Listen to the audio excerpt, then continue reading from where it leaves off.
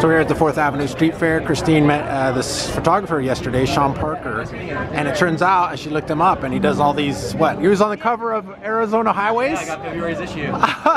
Christine's looking at the magazine because we subscribe. I was You like, have it? Yes. Oh my gosh, Okay, awesome. so I sat there after I opened it up and I was just like looking Yeah. I didn't know it was you and I was right here. Oh, that's so funny, And yeah. I looked at it, I was like, what the heck? And I looked and it was like, oh my god. that is freaking unbelievable. Yeah, oh, they're- are you sure you get that? so what else have you? She, Christine said you did stuff for movies too, or? Yeah, so I do a lot of time lapse uh, cinematography, and I do a lot of like projects with companies. And uh, I just recently did a, a film with uh, Keanu Reeves and Jim Carrey. Oh, It's yeah? called The Bad Batch. It's on Netflix. I have a 90 second hallucin, uh, hallucinating. hallucin- I don't know what other word it is. Sorry, I'm nervous. Uh, it's a- You used to be on the other side of the camera, yeah? Yeah, yeah. It's a hallucination scene. It's like 90 seconds long, and it's all stars. And uh, yeah, it's on Netflix. Check it out. All right.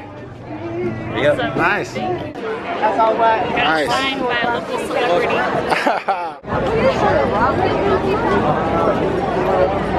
oh, let's cross over because I think. Uh, Yeah, it's back.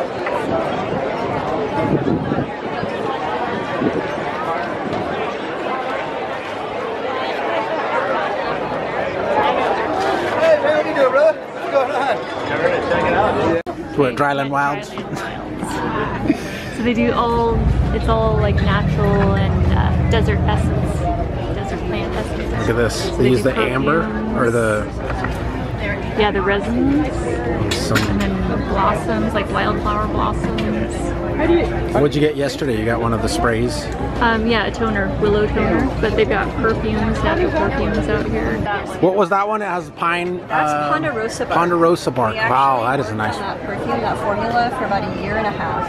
Um, the, because when you distill, we use distillation, we use maceration, we use enfleurage occasionally, we use tinctures, but it's really hard to get those smells to stick on your skin, especially those very delicate ones. So this is the Ponderosa Desert Spray. It smells really good. Yeah. And that's a body spray. Yeah. Oh, thanks, much. All right. Okay, I'll talk to you online. Alright, hey guys, I was just finishing photographing some jewelry and this lizard startled me. I literally like just screamed at it on accident. I love lizards, so I don't know why I had that reaction. It just startled me that it was sitting there. Um, yeah, I'm gonna have to catch you and put you outside, huh? So the photograph I got from the show, I didn't get to show you guys yet because I filmed on the second day and I bought this from Sean, uh, Sean Parker on the first day of the the street fair. So that's one of Sean's photographs. I absolutely love this too. I can't wait to frame it. I've got a white IKEA frame out in the living room right now, so I'll go ahead and get that. And then this is the February issue of Arizona Highways, and I loved that picture so much. When I got this in the mail, I was just like looking at all the detail and the color, and I just really liked it a lot. Um, and then once I realized, because I went to his Instagram after I bought that picture on the first day of the show, I went to his Instagram and checked it out, and then I saw this on his Instagram. I was like, what the heck? Oh, he took that picture. Oh my gosh. So anyway, I took that back down the second day and had him autograph it for me. So I might frame that too. But anyway, I love that. So, okay, um, let me go ahead and go grab that frame and we'll get that in there. Okay, I just got my laptop out. I want to check out his website. So he's got a schedule because he does workshops all throughout the year, all over the place. There's an Iceland one. That would be so cool. Wouldn't that be awesome, you guys, to go do an Iceland uh, workshop? Photo workshop. I think that would be so much fun. Go photograph the Aurora Borealis. All right, social media. Okay, let's check out YouTube. Am I logged in? Okay, I'm gonna subscribe. How many videos does he have?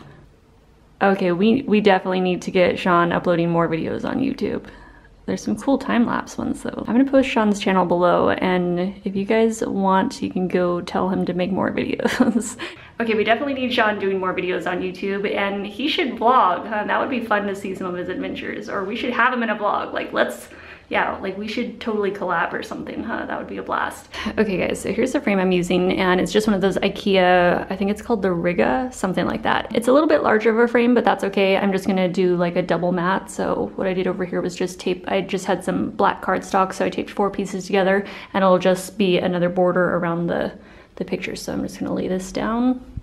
So it's got like that, that sort of like thin, uh, I don't know, plexiglass or whatever in there. So just center that and then take my makeshift mat here out of the black cardstock and lay that over it.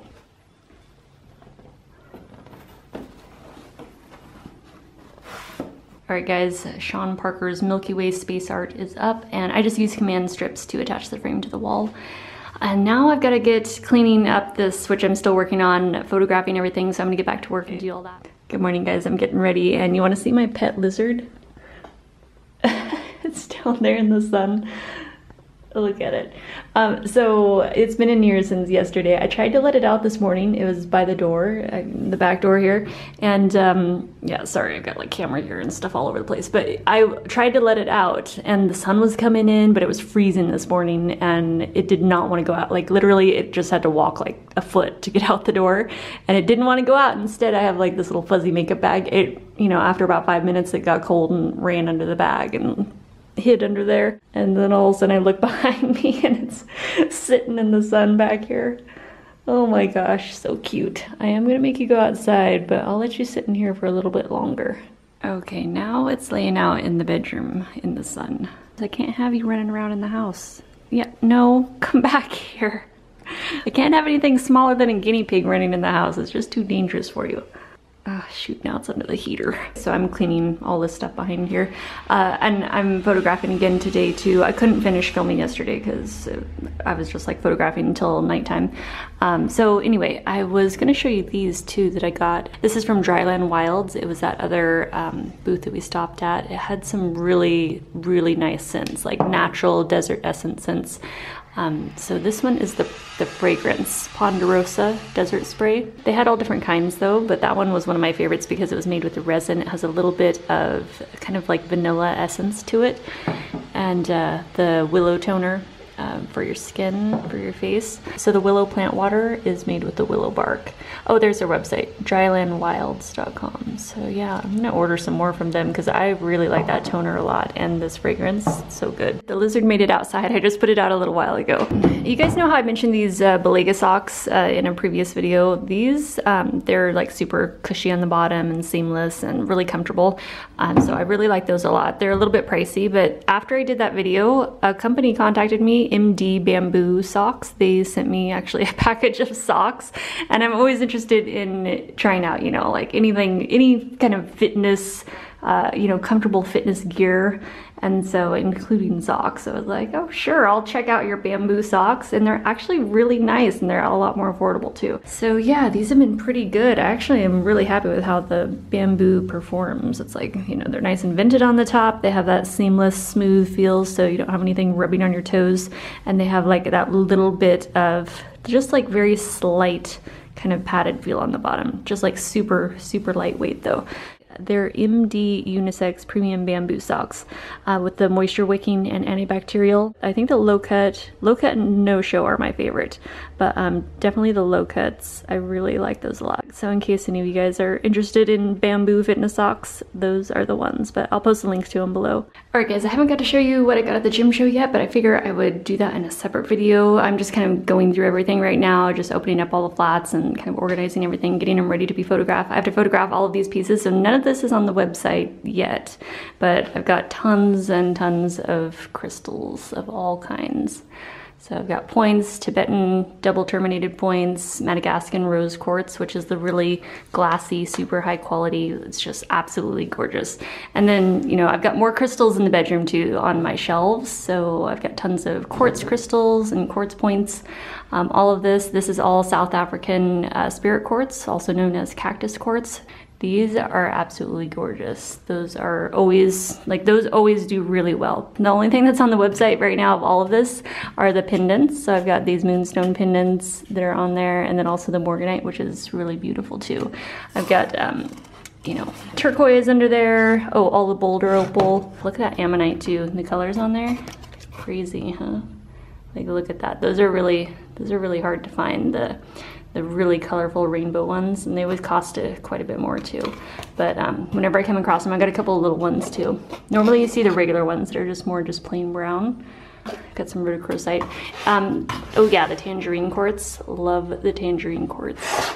The rings, um, about half of these are on the website right now. So yeah, so I think I have like all of the Larimar on there and some of the, the rough moonstone, which is super pretty. It's really hard to find the rough raw moonstone pieces. Oh, and these little tiny moonstone rings. Oh, and I've got one um, pink tourmaline ring there. It's These are all hammered silver from Bali. Also the geode spheres with the stands. All right guys, water some plants with me. I've got to water these poor babies. They've been inside and well, I had to bring them in because, well, some of them stay outside usually, but I had to bring them all in because it was getting so cold. It was like 34 degrees last night. And um, yeah, the adeniums, they don't like that. Like, oops, just threw my water. Adeniums go into dormancy. So see how that thing is completely naked now? It lost all its leaves. Same with my little baby. Look at that sad little thing. It has like one old little leaf. Oop, there it went. Poor thing, look at that. Oh my gosh, it's all naked. This one here is also a adenium, but it's a Socotranum, so it's a different variety. Cute little palm tree style though. This one's been good. It hasn't lost any leaves. I don't know if it does actually. Um, like they seem to be doing really well still but it does need water because I went to pick it up and it was like super light so uh, this pumice stone it dries out really quick you know anyway okay Socotranum's turn we call this one scrotum for short just because it's easier to remember. This was a really nice euphorbia, but it broke in the wind not too long ago. Um, so it's sealed up, as you can see the breaks on it. So it, had, it was pretty tall. It was like, I don't know, probably about three feet tall but it snapped in the wind. I had it sitting out here and it got too windy for it. But yeah, it healed up. You can see where it broke on those four points, uh, but it's already putting out new new growth there, so it'll do fine. Um, this adenium though, it started growing new little leaves after it lost all of its other leaves. So it's like it started to go into dormancy and then all of a sudden it perked back up again. So I'm not sure what that's about, but I am gonna go ahead and add a little bit of fertilizer to its water, uh, which I already did. And I'll, well, I'll show you. I have the fertilizer out here, what kind I use. Here's what I use. This VF11, Eleanor's VF11. So I just add a splash and then just fill up your watering can and go for it. This cactus definitely needs some water. I love using these pumice stone planters though. I think they're so cool. It, I originally got them to have inside the house, but as it turns out, you know, I ended up planting outdoor plants in them. But they'd be super cool to have inside with something, don't you think? Yeah, I really like having like rugged, earthy, natural stuff inside the house. I like that contrast. I love this ghost euphorbia so much. That thing is like my baby. I got it at a farmer's market here in Tucson. And it, like, immediately when I was walking past their tent, it caught my eye and I was just like, that, that needs to come home with me. Uh, it's such a unique one too. I haven't even seen one like that. Like that's the first time I've ever come in contact with one of those. Hey guys, we're at Tumerico right now having some soup. They always have complimentary soup with all their meals, which is really nice. Nice hot soup on a chilly day. Okay, we're sitting inside now. Too cold outside.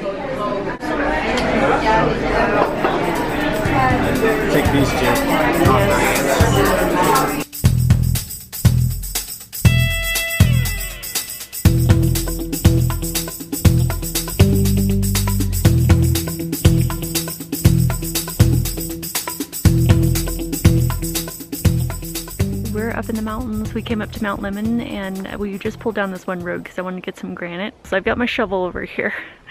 and uh, yeah, so anyway, I'm gonna get some top dressing for my plants at home because this granite is just beautiful. It's like, I love the white, the pop of the white. So let's see, I'm looking for just, you know, all different sizes pretty much. But I, I just like to dig around in the rocks and just find, you know, some interesting pieces to take home with me.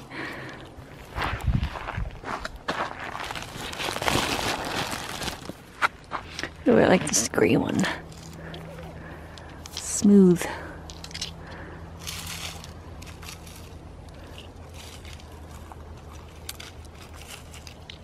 Yeah, I've always just really enjoyed being outside, you know, digging for rocks and looking for interesting stones and stuff. So this is like my my happy, peaceful, like meditation world up here, just to be out here and you can hear the wind in the trees. It's nice. I love it. It's like a little pool of mica in there. Yeah. I saw a couple pieces. There's one in this big boulder up there. It was like that big strip of it. We, I think we gotta head back down. I'm starving. Ooh, there's some neat manzanita here. That one. All kinds of things you could use for home decor projects out here. Govindas. We haven't been to Govindas for a really long time. Alright, one last stop before we head out. Right at the entrance of the road. This is where I got some a couple years ago. There is snow on the ground, but it's actually pretty comfortable. Not bad at all up here.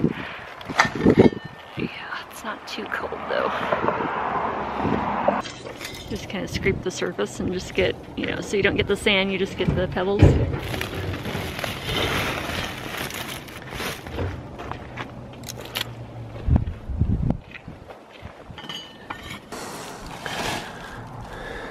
What do you think? I think, Some more? Yeah.